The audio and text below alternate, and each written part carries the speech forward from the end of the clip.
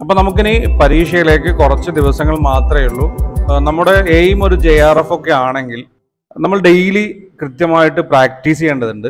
അപ്പൊ ഇന്ന് മുതൽ നമ്മൾ ഇമ്പോർട്ടന്റ് ആയിട്ടുള്ള ഏരിയ അതുപോലെ തന്നെ ജനറൽ പേപ്പറിൽ നമുക്ക് വരാൻ സാധ്യതയുള്ള ചോദ്യങ്ങൾ അത്തരം കാര്യങ്ങളൊക്കെ ഡിസ്കസ് ചെയ്തിട്ട് ഡെയിലി നമ്മൾ പ്രാക്ടീസ് ചെയ്യണം. ഇത്ര വീഡിയോ എന്നില്ല അല്ലെങ്കിൽ ഇത്ര ഏരിയ എന്നില്ല നമുക്ക് മാക്സിമം എത്രത്തോളം ഒരു ദിവസം പഠിക്കാൻ പറ്റുമോ അത്രയും കാര്യങ്ങൾ അത് എന്തൊക്കെ കാര്യങ്ങളാണ് അത് ഏതൊക്കെ രീതിയിൽ നിങ്ങൾക്ക് ലഭിക്കും? ഇന്നത്തെ വീഡിയോയിൽ നമ്മൾ മാത്തമെറ്റിക് റീസണിങ്ങിൽ നിങ്ങൾക്ക് മനസ്സിലാവാൻ പറ്റുന്ന രീതിയിലുള്ള പാറ്റേൺ അതായത് ഓരോ പാറ്റേണിലുള്ള ചോദ്യങ്ങൾ ഏതൊക്കെ രീതിയിൽ അത് സോൾവ് ചെയ്യാൻ പറ്റും. അത്തരം കാര്യങ്ങളും കൂടെ നമുക്ക് ഈ വീഡിയോയുടെ അവസാന ഭാഗത്ത് ഡിസ്കസ് ചെയ്യുന്നുണ്ട്. നമുക്ക് പ്രാഥമികമായിട്ട് കുറച്ച് കാര്യങ്ങൾ പറഞ്ഞതിന് ശേഷം ചോദ്യങ്ങളിലേക്ക് അടക്കാം നമുക്ക് ഡെയിലി ഷുവർ ഷോട്ട് ക്ലാസ്സുകളും വീഡിയോ ക്ലാസ്സുകളും നമുക്ക് അപ്ലോഡ് ചെയ്യാം. നിങ്ങൾ മാക്സിമം അത് കാണാൻ ശ്രമിക്കുക ഉപയോഗപ്പെടുത്തുക എന്നുള്ളത്. അത് നമുക്ക് ജനറൽ പേപ്പറിന്റെ മാത്രമല്ല കൊമേഴ്സ് എക്കണോമിക്സ് പോലുള്ള മെയിൻ സബ്ജക്റ്റിന്റെയും ക്വസ്റ്റ്യൻ പ്രാക്ടീസ് നമുക്ക് ഇനി മുതൽ അപ്ലോഡ് ചെയ്യാം. നമുക്ക് ഇനിയുള്ള ദിവസങ്ങൾ വളരെ ഇഫക്റ്റീവായിട്ട് പഠനം മുന്നോട്ടേ കൊണ്ടുപോകണം. പ്രിപ്പറേഷൻ സ്ട്രാറ്റജിയൊക്കെ നമ്മൾ ഓൾറെഡി പറഞ്ഞതാണ്. ഏതൊക്കെ രീതിയിൽ നിങ്ങൾ പഠിക്കണം എന്നുള്ളതൊക്കെ. ഇനി നമുക്ക് വേണ്ടത് ഡെയിലി പി വൈക്ക് പ്രാക്ടീസും അതുപോലെ തന്നെ ഷുവർ ഷോട്ട് ഏരിയയും പ്രാക്ടീസ് ചെയ്യുക എന്നുള്ളതാണ്. അതാണ് ഇനി നമുക്ക് എക്സാമിലേക്ക് കൃത്യമായിട്ട് ഉപയോഗപ്പെടുത്താൻ സാധിക്കുകയുള്ളൂ. ഓക്കെ അപ്പോൾ അതുപോലെ തന്നെ ഇമ്പോർട്ടന്റ് ഏരിയ ഡിസ്കഷൻ അതായത് നമ്മൾ ചോദ്യങ്ങൾ അനലൈസ് ചെയ്ത് അതുമായി റിലേറ്റഡ് ആയിട്ടുള്ള ഇമ്പോർട്ടന്റ് ഏരിയ ഡിസ്കസ് ചെയ്യണം. അപ്പോൾ നമ്മളൊരു കൃത്യമായിട്ടൊരു കാൽക്കുലേഷൻ വെച്ചുകൊണ്ട് തന്നെയാണ് ഈ ഒരു ക്ലാസ്സുകൾ നൽകി വരുന്നത്. അപ്പോൾ നിങ്ങൾക്ക് യൂട്യൂബിലൂടെ ഡെയിലി ഒന്നോ രണ്ടോ മൂന്നോ ക്ലാസ്സുകൾ അത് എത്ര എത്ര എന്നില്ല മാക്സിമം ഓരോ ദിവസം നമ്മളൊരു പ്ലാനിങ്ങിനനുസരിച്ചിട്ട് ഈ ഒരു പരീക്ഷ വരെ ഏത് ഏതൊക്കെ രീതിയിൽ നിങ്ങൾക്ക് ഉപകാരപ്പെടുന്നുണ്ടോ അല്ലെങ്കിൽ നിങ്ങളുടെ പരീക്ഷക്കായിട്ട് നിങ്ങൾക്ക് മാക്സിമം ചോദ്യങ്ങൾ ക്ലിയർ ചെയ്യാൻ പറ്റുന്ന രീതിയിലാണ് ഇത് പ്ലാൻ ചെയ്തിരിക്കുന്നത്. നമുക്ക് രണ്ടായിരത്തി ഇരുപത്തി മൂന്നിൽ പതിനെട്ടോളം ജനറൽ പേപ്പറിന്റെ ചോദ്യങ്ങളുണ്ട്. രണ്ടായിരത്തി ഇരുപത്തിരണ്ടിൽ നമുക്ക് മുപ്പത്തിരണ്ടോളം ചോദ്യ പേപ്പറുകളുണ്ട്. അപ്പൊ സെഷൻ നടന്നിട്ടുണ്ട്. അപ്പൊ ഈ ഒരു സെഷനിലെല്ലാം ഒരു ഓരോ ചോദ്യ പേപ്പർ വീതം നമുക്ക് എടുക്കുകയാണെങ്കിൽ തന്നെ അൻപതോളം ക്വസ്റ്റ്യൻ പേപ്പർ ജനറൽ പേപ്പറിൽ ഉണ്ടായിരുന്നു അപ്പൊ ഏറ്റവും ലേറ്റസ്റ്റ് ആയിട്ടുള്ള അമ്പത് ക്വസ്റ്റ്യൻ പേപ്പർ എന്ന് പറയുമ്പോൾ ഒരു ഒരു ക്വസ്റ്റ്യൻ പേപ്പറിൽ നമുക്ക് അൻപതോളം ചോദ്യങ്ങളാണ്. ഏകദേശം രണ്ടായിരത്തി അഞ്ഞൂറ് ചോദ്യങ്ങൾ ഉണ്ടാവും നമുക്ക് പ്രാക്ടീസ് ചെയ്യണം എല്ലാ യൂണിറ്റിൽ നിന്നും പത്ത് യൂണിറ്റിലും കൂടെ രണ്ടായിരത്തി അഞ്ഞൂറ് ചോദ്യങ്ങൾ ഉണ്ടാവും അപ്പൊ ഒരു യൂണിറ്റിൽ നിന്ന് ഏകദേശം ഇരുന്നൂറ്റി അൻപതോളം ചോദ്യങ്ങൾ ഉണ്ടാവും അപ്പൊ ഈ എല്ലാ ചോദ്യങ്ങളും നമുക്ക് പ്രാക്ടീസ് ചെയ്യാനും സാധിക്കില്ല. എല്ലാ ചോദ്യങ്ങളും നമ്മൾ പ്രാക്ടീസ് ചെയ്യേണ്ടതായിട്ടും ഇല്ല. അപ്പൊ ഇതിനു മുമ്പ് നമുക്ക് പരീക്ഷ ഉണ്ടായിട്ടുണ്ട്. രണ്ടായിരത്തി ഇരുപതിൽ അതുപോലെ രണ്ടായിരത്തി ഇരുപത്തി ഒന്ന് രണ്ടായിരത്തി പത്തൊമ്പത് ഇത്രയും വർഷത്തെ ചോദ്യങ്ങളും ഉണ്ട് അപ്പൊ ഇതിലൊക്കെയുള്ള ഇമ്പോർട്ടന്റ് ആയിട്ടുള്ള ചോദ്യങ്ങളും അതുപോലെ ഏറ്റവും ലേറ്റസ്റ്റ് ആയിട്ട് വന്നിട്ടുള്ള ഇമ്പോർട്ടന്റ് ആയിട്ടുള്ള ചോദ്യങ്ങൾ ഉൾപ്പെടുത്തിയിട്ടാണ് നമ്മൾ ഈ ഒരു ഷുവർ ഷോട്ട് ക്ലാസ്സുകൾ പ്ലാൻ ചെയ്തിരിക്കുന്നത്. അപ്പോൾ മാക്സിമം നിങ്ങൾ അത് വാച്ച് ചെയ്യുക എന്നുള്ളതാണ്. അടുത്ത വളരെ ഇമ്പോർട്ടന്റ് ആയിട്ടുള്ള ഒരു കാര്യം ഈ ഒരു വീഡിയോയിൽ പറയാൻ ഉദ്ദേശിച്ചത് എന്തൊക്കെ കാര്യങ്ങളാണ് ലഭിക്കുക എന്നുള്ളതാണ്. അതുകൊണ്ട് തന്നെ റീഡിംഗ് കോംപ്രഹൻഷൻ ചോദ്യങ്ങൾ നിങ്ങൾക്ക് ഡെയിലി പ്രാക്ടീസ് ചെയ്യുന്ന രീതിയിൽ ലിങ്കുകൾ ടെലിഗ്രാം ചാനൽ ലഭിക്കും. ഈ ഒരു വീഡിയോയുടെ ഡിസ്ക്രിപ്ഷനിൽ ലിങ്കുകൾ നൽകിയിട്ടുണ്ട്. അതുപോലെ തന്നെ ഡാറ്റ ഇന്റർപ്രിട്ടേഷൻ ചോദ്യങ്ങൾ ഇനി ഡെയിലി പ്രാക്ടീസ് ചെയ്യുക. അതും നമ്മൾ വീഡിയോ ആയിട്ട് അപ്ലോഡ് ചെയ്യും. യൂട്യൂബിലൂടെ തന്നെ ലഭിക്കും. നിങ്ങൾക്കത് പ്രാക്ടീസ് ചെയ്യാവുന്നതാണ്. അതുപോലെ മാത്തമെറ്റിക് റീസണിങ് ചോദ്യങ്ങൾ നമ്മൾ പ്രാക്ടീസ് ചെയ്യുക. മാക്സിമം അതിന്റെ പാറ്റേണുകൾ മനസ്സിലാക്കുക. ഏതൊക്കെ രീതിയിൽ പ്രാക്ടീസ് ചെയ്യണം എന്നുള്ളത് ഇന്നത്തെ വീഡിയോയിൽ നമ്മൾ ഇതിന്റെ കുറച്ച് ചോദ്യങ്ങൾ നമ്മൾ പ്രാക്ടീസ് ചെയ്യുന്നുണ്ട് ഇന്നത്തെ വീഡിയോയിൽ ആ വീഡിയോ കണ്ടു കഴിഞ്ഞാൽ നിങ്ങൾക്ക് മനസ്സിലാവും. ഇനിയുള്ള ദിവസങ്ങൾ ഓരോ വീഡിയോ വരുംതോറും നമുക്ക് അതിന്റെതായ കാര്യങ്ങൾ നമുക്ക് ചർച്ച ചെയ്ത് കൃത്യമായിട്ട് കാര്യക്ഷമമായിട്ട് നമ്മുടെ പഠനം മുന്നോട്ടേക്ക് കൊണ്ടുപോവുക. അപ്പൊ അതിനായിട്ട് നിങ്ങൾ ചെയ്യേണ്ടത് നിങ്ങളുടെ അഭിപ്രായങ്ങളും നിർദ്ദേശങ്ങളും സംശയങ്ങളും കമന്റായി രേഖപ്പെടുത്തുക. നമ്മുടെ ചാനൽ സബ്സ്ക്രൈബ് ചെയ്ത് നമ്മൾ ഫോളോ ചെയ്യുക എന്നുള്ളതാണ്. ടെലിഗ്രാം ചാനലിൽ ജോയിൻ ചെയ്തിട്ടില്ലേ നിങ്ങൾ ടെലിഗ്രാം ചാനൽ ജോയിൻ ചെയ്യുക. ഇത്രയും കാര്യങ്ങൾ ചെയ്താൽ മതി. വേറെ ഒന്നും നിങ്ങൾ നോക്കേണ്ടതില്ല. നമുക്ക് നമ്മുടെ പഠനം ഇനി വളരെ കാര്യക്ഷമമായി തന്നെ മുന്നോട്ട് കൊണ്ടുപോകേണ്ടതുണ്ട്. വളരെ കുറച്ച് സമയമേ ഉള്ളൂ. അപ്പോൾ ഇനി മുതൽ നമുക്കത് പ്രാക്ടീസ് ചെയ്ത് തുടങ്ങാം. നിങ്ങളുടെ അഭിപ്രായങ്ങൾ രേഖപ്പെടുത്തേണ്ടത് വളരെ ഇമ്പോർട്ടന്റ് ആയിട്ടുള്ള ഒരു കാര്യമാണ്. അപ്പോൾ നമുക്ക് നേരെ ഇന്നത്തെ വിഷയത്തിലേക്ക് കടക്കാം. ഒരു ക്വസ്റ്റ്യൻ നോക്കാം. നമ്പർ സീരീസ് ആണ്. നമ്പർ സീരീസ് വളരെ ഡിഫിക്കൽട്ട് ആയിട്ടുള്ള ഒരു ക്വസ്റ്റ്യൻ ഇത്. നമ്പർ സീരീസ് എല്ലാ സീരീസും നമുക്ക് എല്ലാവർക്കും ഉത്തരം എഴുതാൻ പറ്റണമെന്നില്ല. എന്നാലും എൻ ഡി എ ആവർത്തിക്കുന്ന ചില പാറ്റേണുകളുണ്ട് ആ ഒരു ടൈപ്പ് ചോദ്യമാണിത്. ഇവിടെ തന്നിരിക്കുന്ന നമ്പർ നോക്കും. മൂന്ന് എട്ട് പതിനേഴ് മുപ്പത്തിരണ്ട് അൻപത്തേഴ് നൂറ്റി എഴുപത്തേഴ് ഇതിൽ നമുക്ക് നാല് ഓപ്ഷനും തന്നിട്ടുണ്ട്. ഇവിടെ നമുക്കറിയാം ആദ്യത്തെ മൂന്ന് അതുപോലെ തന്നെ മൂന്നിൽ നിന്നും എട്ടിലേക്കുള്ള റൂട്ട് എട്ടിൽ നിന്നും പതിനേഴിലേക്കുള്ള റൂട്ട് ഈ ഒരു രീതിയിലാണ് നമ്മൾ ഇതിനെ കണ്ടെത്തേണ്ടത്. ഈ ഒരു റൂട്ട് കറക്റ്റ് ആയിരിക്കണം ഈ ഒരു റൂട്ടും കറക്റ്റ് ആയിരിക്കണം. എങ്കിൽ മാത്രമേ നമുക്ക് ഉത്തരം ലഭിക്കുകയുള്ളൂ. അപ്പോൾ ഓക്കെ നമ്പർ സീരീസ് നമ്മൾ വളരെ ഈസി ആയിട്ടുള്ള ചോദ്യങ്ങളൊന്നും ചോദിക്കില്ല എന്നുള്ളത് നിങ്ങൾ മനസ്സിലാക്കുക. അപ്പോൾ ഇവിടെ ഒന്നാമത്തെ വരുന്നത് മൂന്നാണ്. മൂന്ന് എങ്ങനെ കിട്ടി എന്നുള്ളതാണ്. അപ്പം ഇത് നമുക്ക് കാൽക്കുലേഷന് വേണ്ടി വളരെ ഈസി ആയിട്ട് പറയാണ്. Two raise to one plus one raise to two ഇതാണ് നമുക്ക് മൂന്ന് എന്ന് കിട്ടുന്നത്. രണ്ട് പ്ലസ് മൂന്ന്. ഓക്കെ അതേപോലെ തന്നെയാണ് എട്ടിൽ വരുന്നത്. എട്ട് എങ്ങനെയാണ് വരുന്നത്? Two raise to two plus two raise to two ഇവിടെ ഒന്ന് രണ്ട്. അത് എട്ട് നമുക്ക് ഉത്തരം കിട്ടി. അടുത്തത് പതിനേഴാണ്. അത് വരുന്നത് two raise to three plus three raise to എത്രയാണ്? അടുത്തത്. Thirty two is equal to എത്ര വരും? Two raise to four plus four raise to two ഇനി അടുത്തത് ഫിഫ്റ്റി സെവൻ ആണ്. Two raise to five plus five raise to two അപ്പോൾ അടുത്ത എത്രയായിരിക്കും two raise to six plus six raise to two sixty four plus thirty six is equal to hundred അപ്പോൾ ഇതൊരു type ചോദ്യമാണ് അപ്പോൾ ഇവിടെ നമുക്ക് ആൻസർ ലഭിച്ചു കഴിഞ്ഞു. നൂറാണ് നമ്മുടെ ആൻസർ എന്ന് പറയുന്നത്. അപ്പോൾ ഇത് നമുക്കറിയാം നൂറ്റാറ് ഇവിടെ വന്നിട്ടുണ്ട് എൺപത്തൊൻപത് വന്നിട്ടുണ്ട് തൊണ്ണൂറ്റഞ്ച് വന്നിട്ടുണ്ട്. അപ്പോൾ ഇതിൽ എൺപത്തൊമ്പത് ഒഴികെ ബാക്കിയെല്ലാം ആൻസറിനോട് അടുത്ത് നിൽക്കുന്ന സംഖ്യ തന്നെയാണ്. അപ്പോൾ ഇങ്ങനെയാണ് ഇതിന്റെ ആൻസർ കണ്ടെത്തുന്നത്. നമ്മൾ എല്ലാ വഴികളും നോക്കണം എന്നുള്ളതാണ്. അപ്പോൾ ഏതൊക്കെ രീതിയിൽ നമുക്ക് അവിടെ എത്താൻ പറ്റുമോ ആ രീതിയിലൊക്കെ നോക്കണം. ഇത് വളരെ ഹാർഡായിട്ടുള്ളൊരു ചോദ്യമാണ് നമുക്ക് ഈ ഒരു രീതിയിലേക്ക് എത്തില്ല. കാരണം നമ്മൾ ഇതുപോലുള്ള ചോദ്യങ്ങൾ പ്രാക്ടീസ് ചെയ്ത് കഴിഞ്ഞാൽ നമുക്ക് എല്ലാ രീതിയിലും ഇവിടെ എത്താൻ പറ്റും. അപ്പോൾ നിങ്ങൾ മനസ്സിലാക്കേണ്ട പ്രധാനപ്പെട്ട ഒരു കാര്യം ഇത്തരത്തിലുള്ള ചോദ്യങ്ങൾ വളരെ ഈസി ആയിട്ട് തന്നെ നമുക്ക് ഉത്തരം കണ്ടെത്താൻ പറ്റും. ഇതിൽ തെറ്റ് വരാൻ സാധ്യത വളരെ വളരെ കുറവാണ്. തെറ്റില്ല. ഇതുപോലുള്ള ഒന്ന് രണ്ട് പാറ്റേൺ ചോദ്യങ്ങൾ ചെയ്യുമ്പോൾ ഇതേപോലുള്ള കാര്യങ്ങൾ നമുക്ക് നമ്മുടെ മൈൻഡിലേക്ക് ഓടി വരും. നമ്മളിത് പ്രാക്ടീസ് ചെയ്തില്ലെങ്കിൽ നമുക്ക് ഇതൊന്നും ഓർമ്മ ഉണ്ടാവില്ല നമ്മുടെ മൈൻഡിലേക്ക് ഇത് വരില്ല എന്നുള്ളതാണ്. അപ്പൊ ഇതുപോലുള്ള ചോദ്യങ്ങൾ പ്രാക്ടീസ് ചെയ്യുമ്പോൾ ഇങ്ങനെയൊക്കെ നമ്മൾ ചിന്തിക്കും. അപ്പൊ ഇതുപോലുള്ള ക്വസ്റ്റ്യൻസ് നമ്മൾ ഇനിയും പ്രാക്ടീസ് ചെയ്യും. ആ- ഒരു സമയത്ത് എല്ലാ രീതിയിലുള്ള പാറ്റേണുകളും നമ്മൾ കൊണ്ടുവന്നു കഴിഞ്ഞാൽ പിന്നീട് നമുക്ക് ആലോചിക്കേണ്ടി വരില്ല. നമ്മൾ വിചാരിച്ചതുപോലെയുള്ള ഏതെങ്കിലും ഒരു പാറ്റേൺ ആണ് വരുന്നതെന്ന് നമുക്ക് മനസ്സിലാക്കാൻ സാധിക്കും. ഡിഫിക്കൽട്ടി ലെവൽ വളരെ ഹാർഡായിട്ടുള്ളത് നമുക്ക് ഈസി ആയിട്ടുള്ളതിലേക്ക് പ്രാക്ടീസ് ചെയ്ത് പോകാം എന്നുള്ളതാണ് അപ്പോൾ ഇത് നിങ്ങൾ ഓർത്ത് വെക്കുക. പ്രാക്ടീസ് ചെയ്യുക പിന്നെ മറ്റൊരു ഇമ്പോർട്ടന്റ് ആയിട്ടുള്ള ഒരു കാര്യം നമ്മൾ ഇതൊക്കെ ഇതിന്റെ ബേസിക് ലെവൽ മുതൽ പഠിച്ച് നെറ്റ് എക്സാമിന് നമ്മൾ എഴുതാൻ തീരുമാനിച്ചു കഴിഞ്ഞാൽ അത് പോസിബിൾ അല്ല. നമ്മൾ ഈ ഒരു അവസാന ഘട്ടത്തിൽ ഈ ഒരു രീതിയിൽ പ്രാക്ടീസ് ചെയ്ത് പോയാൽ തന്നെ ഓർക്കുക ഇതേ രീതിയിൽ പ്രാക്ടീസ് ചെയ്ത് പോയാൽ തന്നെ നമുക്ക് കൃത്യമായിട്ട് ഉത്തരം കണ്ടെത്താൻ പറ്റുമെന്നുള്ളതാണ്. ഇനി നമുക്ക് അടുത്തൊരു ലെറ്റർ സീരീസിലേക്ക് പോകാം. Certain coding paint is coded P A I N T. Okay? ഒമ്പത് മൂന്ന് അഞ്ച് നാല് ആറ്.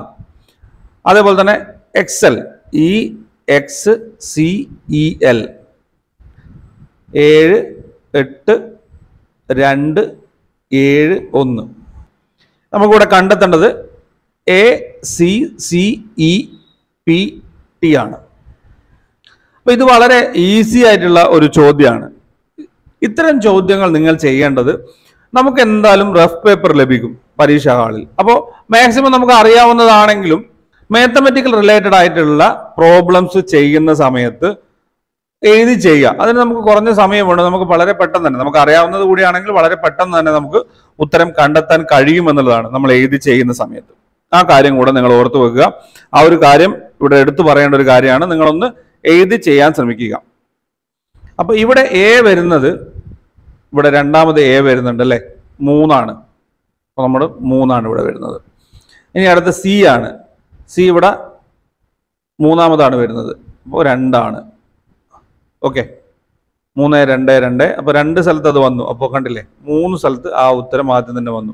അപ്പോൾ നമുക്ക് ഏകദേശം ഊഹിക്കാൻ പറ്റും. ഇതിൽ ഏതോ ഒന്നാണ് നമ്മുടെ ആൻസർ എന്നുള്ളത്. ഓക്കെ അടുത്താണ് നമ്മൾ കണ്ടെത്തേണ്ടത്. അപ്പോൾ നമ്മുടെ റൂട്ട് കറക്റ്റ് ആണ്. ഓക്കെ ഇനി അടുത്തത് ഇ ആണ്. ഇ വന്നിട്ട് ഏഴാണ് വരുന്നത്. ഓക്കെ സെവൻ അപ്പോൾ ഇതിൽ മൂന്നിലും വീണ്ടും സെവൻ വന്നു. ഓക്കെ ഇനി അടുത്തത് പി ഒമ്പത്. ഓക്കെ അവസാനത്തെ ടി ആറ്. മൂന്ന് രണ്ട് രണ്ട് ഏഴ് ഒൻപത് ആറ്. ഒൻപത് ഏഴ് ആറ് കൊടുത്തിട്ടുണ്ട്. ഏഴ് ആറ് ഒൻപത് കൊടുത്തിട്ടുണ്ട്. പക്ഷേ നമ്മുടെ ആൻസർ എന്ന് പറയുന്നത് three double two seven nine six ആണ്. ഓക്കെ ഇത് വളരെ ഈസി ആയിട്ടുള്ള ഒരു കോഡിംഗ് ആണ്. അപ്പോൾ നമ്മൾ ഇതുപോലുള്ള കാര്യങ്ങൾ കോഡിങ്ങിൽ നമുക്ക് അതായത് നമുക്ക് ലെറ്റർ ഇതുപോലെ കോഡായിട്ട് തരുന്ന സമയത്ത് വളരെ ഈസി ആയിട്ട് ഉത്തരം കണ്ടെത്താൻ പറ്റും. നമ്മൾ ഇതുപോലെ എഴുതിയിട്ട് പ്രാക്ടീസ് ചെയ്യണം. റഫ് പേപ്പർ നമുക്ക് ലഭിക്കും. നമ്മൾ എഴുതി പ്രാക്ടീസ് ചെയ്യുക. അല്ലെങ്കിൽ എഴുതിയിട്ട് ഉത്തരം എഴുതാൻ ശ്രമിക്കുക. വളരെ കുറഞ്ഞ സമയം മാത്രമേ നമുക്ക് കൃത്യമായിട്ടുള്ള റഫ് പേപ്പർ എത്ര പേപ്പർ വേണമെങ്കിലും പരീക്ഷാ ഹാളിൽ നിന്ന് ലഭിക്കും. അത് എഴുതി ചോദ്യത്തിന് ഉത്തരം കണ്ടെത്തുന്ന സമയത്ത് നമുക്ക് എന്ത് ചെയ്യാൻ പറ്റും? ഈസി ആയിട്ടും കറക്റ്റ് ആയിട്ടും നമ്മുടെ ഉത്തരത്തിലേക്ക് എത്താൻ പറ്റും. അത് പറയാൻ കാരണം എന്താണെന്നറിയോ? ഇവിടെ നമുക്ക് തന്നിരിക്കുന്ന ഓപ്ഷൻസ് ഒക്കെ കണ്ടോ? വളരെ റിലേറ്റഡ് ആണ്. നമുക്ക് മൂന്ന് ഓപ്ഷനും റിലേറ്റഡ് ആയിട്ട് തന്നെയാണ് തന്നിരിക്കുന്നത്. അപ്പോൾ നമുക്ക് കൺഫ്യൂസ് ആവും. അപ്പോൾ ആ ഒരു സമയത്ത് നമുക്ക് ഇങ്ങനെ എഴുതി ചെയ്യുന്ന സമയത്ത് നമുക്ക് കൃത്യമായിട്ട് അതിലേക്ക് എത്തും. വളരെ ചെറിയൊരു മിസ്റ്റേക്ക് നമുക്ക് രണ്ട് മാർക്ക് നഷ്ടപ്പെടും. അതുകൊണ്ടുകൂടിയാണ് ഈ ഒരു ചോദ്യം വളരെ കൃത്യമായിട്ട് എടുത്തു പറഞ്ഞിരിക്കുന്നത് എന്നുള്ളതും നിങ്ങൾ മനസ്സിലാക്കുക. ഓക്കെ അപ്പൊ നമുക്കൊരു ചോദ്യം നോക്കാം. ഇതുപോലുള്ള ചോദ്യങ്ങൾ മാത്തമെറ്റിക്കൽ റീസണിങ്ങിൽ ആവർത്തിക്കുന്ന ചോദ്യങ്ങളാണ് ആ കാര്യം നിങ്ങൾ മനസ്സിലാക്കുക.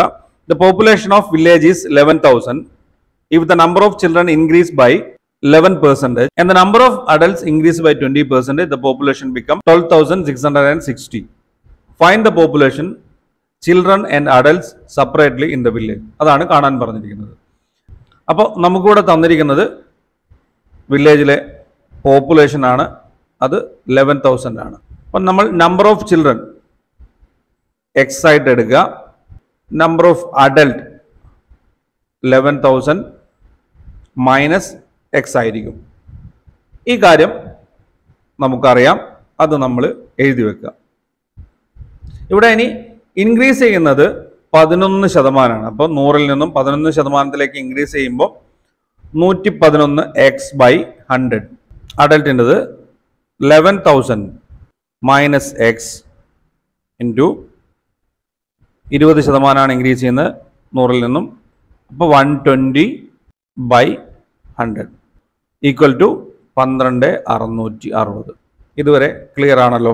ഇനി നമുക്കിതിനെ മാറ്റി എഴുതി കഴിഞ്ഞാൽ നൂറ്റി പതിനൊന്ന് എക്സ് ബൈ ഹൺഡ്രഡ് പ്ലസ് ഗുണിച്ച് കഴിഞ്ഞാൽ പതിമൂന്ന് ലക്ഷത്തി ഇരുപതിനായിരം into one twenty one twenty x by hundred equal to പന്ത്രണ്ട് അറുന്നൂറ്റി അറുപത്. ഓക്കെ ഇത്രയും ക്ലിയർ ആണല്ലോ. ഇനി നമ്മൾ ഇതിനെ മാറ്റി എഴുതി കഴിഞ്ഞാൽ നൂറ്റി പതിനൊന്ന് x minus one twenty x plus പതിമൂന്ന് ലക്ഷത്തി ഇരുപതിനായിരം ഈക്വൽ ടു ഇത് രണ്ടും ഇങ്ങോട്ടേക്ക് വന്നു കഴിഞ്ഞാൽ പന്ത്രണ്ട് ലക്ഷത്തി അറുപത്തി ആറായിരം. കറക്റ്റ് ആണല്ലോ. ഓക്കെ അപ്പോൾ ഇനി നമ്മൾ minus nine x equal to ഇത് ഇങ്ങോട്ടേക്ക് വരും. പന്ത്രണ്ട് ലക്ഷത്തി അറുപത്തി ആറായിരം മൈനസ് പതിമൂന്ന് ലക്ഷത്തി ഇരുപതിനായിരം. ഇനി ഇവിടെ minus nine x is to minus അൻപത്തി നാലായിരം അപ്പോൾ minus വെട്ടിക്കഴിഞ്ഞാൽ nine x equal to fifty four thousand okay അപ്പോൾ x equal to fifty four thousand by nine equal ആറായിരം. അപ്പോൾ നമ്മുടെ ചിൽഡ്രൻ പോപ്പുലേഷൻ എന്ന് പറയുന്നത് ആറായിരമാണ് ഇനി നമ്മൾ അഡൽട്ടിന്റെ കാണണമെങ്കിൽ പതിനൊന്നായിരം മൈനസ് ആറായിരം അത് അയ്യായിരമാണ്. ഓക്കെ അഡൽട്ടിന്റെത് അയ്യായിരം ചിൽഡ്രൻ ആറായിരം. അപ്പോൾ നമ്മുടെ ആൻസർ എന്ന് പറയുന്നത് ആറായിരം അയ്യായിരമാണ്. അപ്പൊ ഇതുപോലെയാണ് ഇത്തരത്തിലുള്ള ചോദ്യങ്ങൾക്ക് ഉത്തരം കണ്ടെത്തുക. ഇത് നമുക്കൊരു ഡിഫിക്കൽട്ടി ലെവൽ പലർക്കും ഹാർഡായിട്ട് തോന്നാം. പക്ഷേ നമ്മൾ കൂടുതൽ ചോദ്യങ്ങൾ ഇതുപോലെ പ്രാക്ടീസ് ചെയ്യുന്ന സമയത്ത് നമുക്ക് വളരെ ഈസി ആയിട്ട് ഇതിന്റെ ഉത്തരം കണ്ടെത്താൻ കഴിയുമെന്നുള്ളതാണ് ഇതുപോലുള്ള ചോദ്യങ്ങൾ മിക്ക ചോദ്യ പേപ്പറിലും കാണാറുണ്ട്. അതുകൊണ്ട് തന്നെ നമുക്ക് കൂടുതൽ ചോദ്യങ്ങൾ വരും വീഡിയോയിൽ ചർച്ച ചെയ്യാം. എത്രത്തോളം ചോദ്യങ്ങൾ പ്രാക്ടീസ് ചെയ്ത് നിങ്ങൾക്ക് അത് ഈസി ആക്കാൻ സാധിക്കുമോ? അത്രത്തോളം ചോദ്യങ്ങൾ പ്രാക്ടീസ് ചെയ്യാം. നമ്മൾ ചെയ്യുന്നതിന് പുറമെ നിങ്ങൾക്ക് കിട്ടുന്ന ചോദ്യങ്ങളും കൂടെ നിങ്ങൾ പ്രാക്ടീസ് ചെയ്യാൻ നോക്കുക. നമുക്കൊരു ചോദ്യം കൂടെ നോക്കിക്കൊണ്ട് ഇന്നത്തെ വീഡിയോ വൈൻഡപ്പ് ചെയ്യാം. ബാക്കിയുള്ള ചോദ്യങ്ങളും പ്രാക്ടീസും നമുക്ക് അടുത്ത ദിവസം മുതൽ വളരെ എഫക്റ്റീവായിട്ട് തന്നെ മുന്നോട്ടേ കൊണ്ടുപോകാം. ഇതുപോലുള്ള ചോദ്യവും ആവർത്തിക്കുന്ന ചോദ്യമാണ്. The present age of the father of a boy is twice the age of the boy രണ്ടിരട്ടിയാണ് ഫാദറിന്റെ ഏജ് എന്ന് പറയുന്നത്. ബോയിയുടെ വയസ്സിനേക്കാൾ. Six years later the ratio of their ages will be eleven raise to six find the present age of the boy അപ്പോൾ ഇവിടെ നമുക്ക് തന്നിരിക്കുന്നത് അവരുടെ ആറു വർഷം കഴിഞ്ഞിട്ടുള്ള റേഷ്യോ മാത്രമാണ്. അതിൽ നിന്നാണ് നമ്മൾ ഏജ് കണ്ടെത്തേണ്ടത് അല്ലേ? നമുക്ക് ബോയിയുടെ പ്രസന്റ് ഏജ് എന്ന് പറയുന്നത് എക്സ് ആയിട്ട് എടുക്കാം. ഫാദറിന്റെ പ്രസന്റ് ഏജ് എന്ന് പറയുന്നത് ടു എക്സ് ആണ് ഓക്കെ അപ്പോൾ ആറ് വർഷത്തിന് ശേഷം ലെവൻ റേസ് ടു സിക്സ് ആണ്. അപ്പോൾ ഇവിടെ ഈ ഒരു കണ്ടീഷനിൽ നമ്മൾ two x plus six by x plus six equal to eleven by six നമ്മളിതിനെ ക്രോസ് ആയിട്ട് മൾട്ടിപ്ലൈ ചെയ്ത് കഴിഞ്ഞാൽ പന്ത്രണ്ട് എക്സ് പ്ലസ് മുപ്പത്തി ആറ് ഇസിക്കൽ ടു പതിനൊന്ന് എക്സ് പ്ലസ് അറുപത്തി ആറ് ഇപ്പോൾ നമ്മൾ നേരത്തെ ചെയ്ത അതേ രീതിയിൽ തന്നെയാണ് വരുന്നത്. പന്ത്രണ്ട് എക്സ് ഇവിടെ ഇങ്ങോട്ട് വരുമ്പോൾ മൈനസ് പതിനൊന്ന് എക്സ് ഈക്വൽ ടു അറുപത്തി ആറ് മൈനസ് മുപ്പത്തി ആറ് ഇവിടെ എക്സ് സമം അറുപത്തി ആറ് മൈനസ് മുപ്പത്തി ആറ് ഇസിക്കൽ ടു മുപ്പത്. അപ്പോൾ കറണ്ട് ഏജ് ഓഫ് ബോയ് എന്ന് പറയുന്നത് മുപ്പത് വയസ്സാണ്. അപ്പോൾ നമ്മുടെ ഓപ്ഷൻ എന്ന് പറയുന്നത് എ ആണ്. അപ്പോൾ ഇതുപോലെ നമുക്ക് വളരെ ഈസി ആയിട്ട് ഉത്തരം കണ്ടെത്താൻ സാധിക്കുമെന്നുള്ളതാണ്.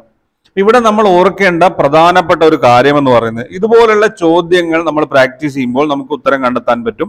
നമുക്കിത് ആദ്യത്തെ തവണ ചെയ്യുന്ന സമയത്ത് നമുക്ക് ഡൗട്ട് ഉണ്ടാവും. നമുക്കിത് ചെയ്യാൻ പറ്റില്ല. ഇതിന്റെ കൂടുതൽ കാര്യങ്ങൾ നമ്മൾ പഠിച്ചു വരേണ്ടതുണ്ട്. മനസ്സിലാക്കേണ്ടതുണ്ട്. ബേസിക് ആയിട്ടുള്ള കാര്യങ്ങൾ പഠിക്കണം. എങ്കിൽ മാത്രമേ ഇതുപോലുള്ള ചോദ്യങ്ങൾ ചെയ്യാൻ പറ്റൂ എന്നൊന്നുമില്ല. നമുക്ക് ചോദ്യം കാണുമ്പോൾ അതിന് ഉത്തരം കിട്ടണം. അതാണ്. അപ്പൊ അതിനായിട്ട് നമ്മൾ നിലവിൽ എൻ ഡി എ ആവർത്തിക്കുന്ന ചില പാറ്റേണുകളിലുള്ള ചോദ്യങ്ങൾ എടുക്കുക പ്രാക്ടീസ് ചെയ്യാം. അപ്പോൾ തുടർന്നുള്ള വീഡിയോയിൽ നമ്മൾ അതാണ് പ്രാക്ടീസ് ചെയ്യുന്നത്. ബേസിക് ലെവൽ മുതൽ ഈ ഒരു ലെവലിലേക്ക് ഇത്തരത്തിൽ എത്തണമെങ്കിൽ എത്ര സമയം എടുക്കുമെന്നുള്ളത് നിങ്ങൾക്ക് തന്നെ അറിയാം. അങ്ങനെ പഠിക്കാൻ പറ്റാത്തത് കൊണ്ടാണല്ലോ നമുക്കിത് ടഫായിട്ട് ഫീൽ ചെയ്യുന്നത്. അപ്പോൾ നമ്മൾ ചെയ്യേണ്ടത് ഈസി വേ എങ്ങനെയാണ് ഇതുപോലുള്ള ചോദ്യങ്ങൾ പ്രാക്ടീസ് ചെയ്ത് നമ്മൾ ഉത്തരം കണ്ടെത്തുക. അപ്പൊ നമ്മൾ കഴിഞ്ഞ ക്വസ്റ്റ്യൻ ചെയ്യുന്ന സമയത്തുള്ള മെത്തേഡ് തന്നെയാണ് ഇവിടെയും ആവർത്തിച്ചിരുന്നത്. അപ്പൊ ചെറിയ രീതിയിൽ മാറ്റം വന്നിരിക്കുന്നു എന്നുള്ളത് മാത്രമാണ്. അപ്പോൾ നിങ്ങൾ ചെയ്യേണ്ടത് ഈ വീഡിയോയുമായി ബന്ധപ്പെട്ട നിങ്ങളുടെ അഭിപ്രായങ്ങൾ കമന്റായി രേഖപ്പെടുത്തുക. ഇതുപോലെ നിങ്ങൾക്ക് ഉപകാരപ്രദമായിട്ടുള്ള മറ്റൊരു വിഷയവുമായി നമുക്ക് അടുത്ത വീഡിയോയിൽ കാണാം. Thank for watching keep studying stay safe